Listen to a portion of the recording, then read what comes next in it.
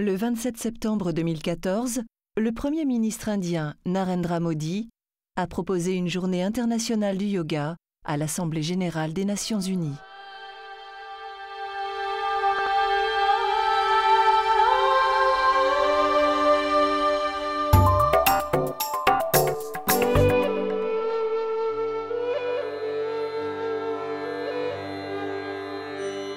J'ai l'immense plaisir d'accueillir le Premier ministre de la République de l'Inde, Son Excellence Narendra Modi.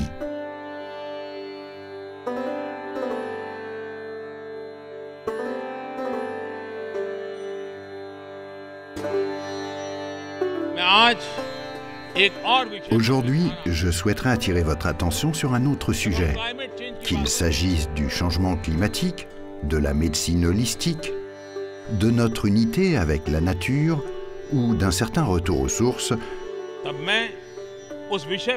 je souhaiterais m'exprimer tout particulièrement sur ces sujets.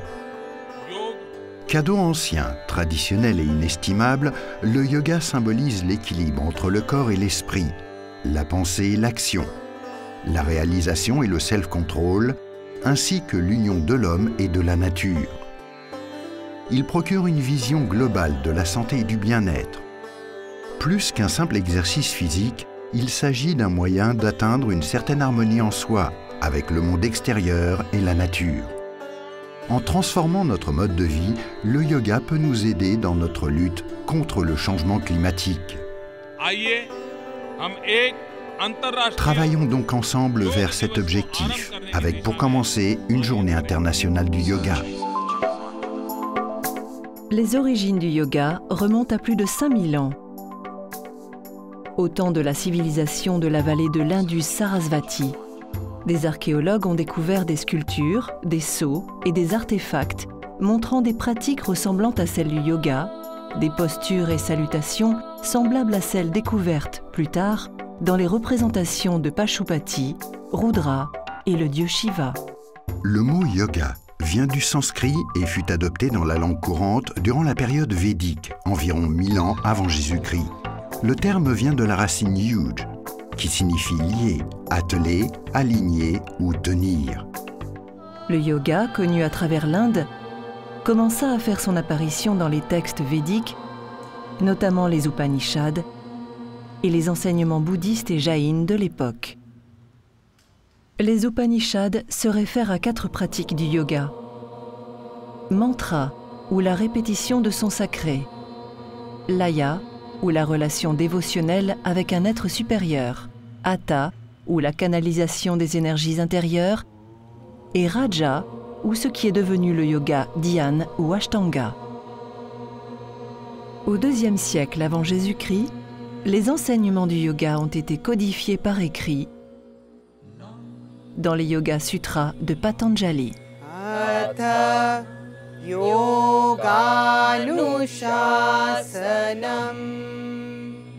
Homme, voilà le yoga expliqué. Il s'agit de l'immobilisation de l'esprit, afin que le sujet puisse voir son moi réel et original. Selon Patanjali, l'objectif du yoga est de surmonter les attachements au monde physique afin de pouvoir se rendre compte de sa véritable conscience. Selon la Tetriya Upanishad, l'homme est constitué de cinq couches, ou koshas, agissant à l'unisson. Un déséquilibre des koshas conduit à la maladie, à un manque d'harmonie, à la souffrance. Équilibrées à travers le yoga, elles conduisent à un état de parfaite santé, à un esprit méditatif, au bonheur pur. Afin d'aligner les koshas et de rétablir l'harmonie, Patanjali a prescrit un système au yogi appelé Ashtanga ou l'octuple sentier.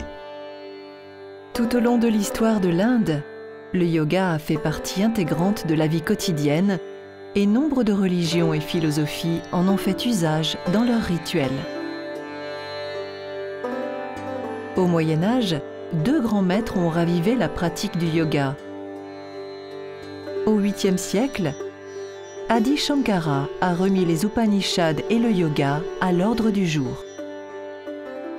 Gorakshanath du Natsampadaya a quant à lui contribué au renouveau du Hatha Yoga à la même époque.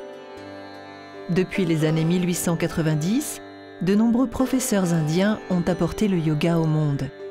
En 1893, Swami Vivekananda a présenté le Vedanta et le Raja Yoga. En 1920, Swami Yogananda a introduit le yoga Kriya et Kundalini. D'autres maîtres, tels que Swami Shivananda, Swami Rama, Swami Satchitananda, Swami Kuvalayananda et Sri Yogendraji, ont contribué à la diffusion d'autres aspects plus profonds du yoga. Un des maîtres yogis les plus influents du XXe siècle est Sri Krishnamacharya. Ses disciples BKS Iyengar, Kapatiba Joyce et son fils Desika Charya sont devenus trois des principales figures du yoga et ont contribué à sa dissémination globale. Depuis ces pionniers, le yoga a bien avancé. Aujourd'hui, des maîtres tels que Sri Sri Ravi Shankar, Pujya Swamiji, Baba Ramdev, Swami Niranjan et Sadhguru Jagi Vasudev entretiennent la flamme du yoga classique partout dans le monde. Les bienfaits du yoga sont aujourd'hui reconnus par la science et la médecine conventionnelle. En Inde, les pouvoirs de guérison du yoga sont reconnus depuis des milliers d'années. Avec l'Ayurveda, ils ont joué un rôle fondamental dans la prévention de maladies, la promotion d'un état de conscience supérieur et la gestion du bien-être, contribuant ainsi à la liberté du pratiquant.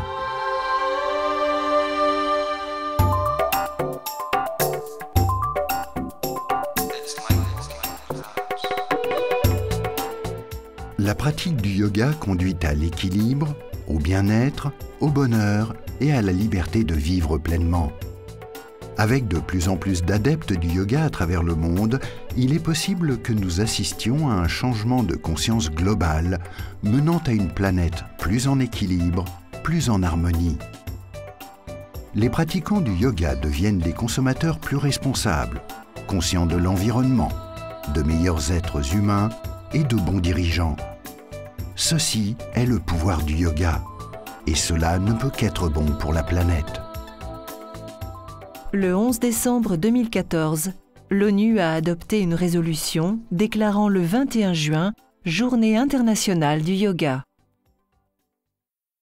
177 nations ont soutenu cette résolution, un record dans l'histoire de l'ONU.